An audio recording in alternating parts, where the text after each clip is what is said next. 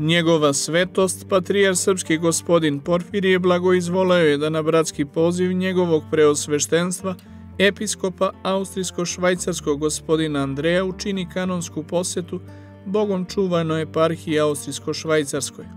Svečani doček povodom posete patrijarha Porfirija sa činom doksologije biće upriličen u četvrtak 8. juna u sabornom hramu Svetog Save u Beču od 17 časova i 30 minuta.